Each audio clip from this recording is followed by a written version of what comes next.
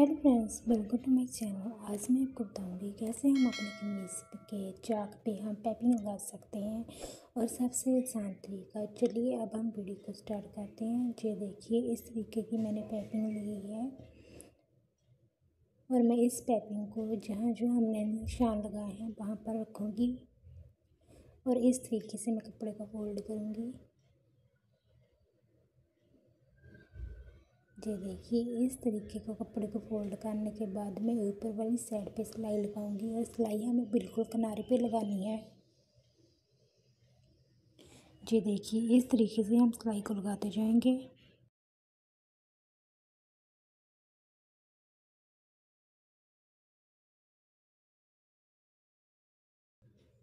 और ये देखिए, इस तरीके से हमने पाइपिंग को लगाते जाना है।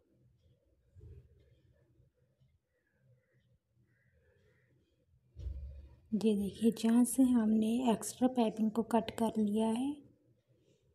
और ये देखिए, इस तरीके से हमारी पाइपिंग लग चुकी है। अब ये देखिए, जहाँ से इस तरीके से मैं कपड़े को फोल्ड करूँगी, और ये देखिए, हमारी पाइपिंग जो है, वो बारली साइड आ चुकी है। अब मैं इसको जहाँ से इस तरीके से फोल्ड करूँगी, और ये देखिए, इस तरीके से हमारी पाइपिंग लग चुकी है। ये देखिए अब मैं आपको दूसरी साइड भी बताऊँगी, हमने कैसे पैकिंग लगाई है। ये देखिए, इस तरीके से कपड़े को फोल्ड करेंगे और ये देखिए, इस तरीके से हम जहाँ से रखेंगे और जहाँ पर हम सिलाई लगाएँगे। जी देखिए, हमें बिल्कुल किनारे पे सिलाई लगानी है, वो भी पैपिंग के साथ।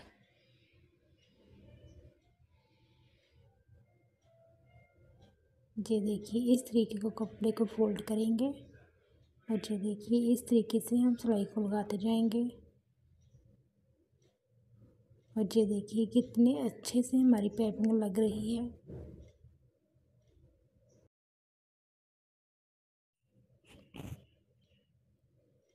और ये देखिए, इस तरीके से मैंने पैपिंग को लगा लिया है। और ये देखिए, जहाँ से हम इस तरीके से कपड़े को फोल्ड करेंगे। ये देखिए, इस तरीके से पैपिंग को अंदर की साइड फोल्ड करने के बाद इस तरीके से हम कपड़े को फोल्ड करेंगे। अब हम जहाँ पे सिलाई लगाएँगे ये देखिए, कपड़े को फोल्ड करने के बाद हम इस तरीके से सिलाई लगाएँगे। अब हम दूसरी साइड पे भी सिलाई लगाएँगे।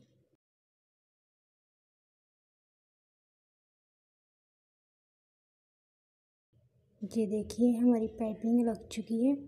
और ये देखिए, हमारी पाइपिंग लग चुकी है। अगर आपको ये वीडियो अच्छी लगी तो कमेंट करके ज़रूर बताएँ। Thanks for watching my video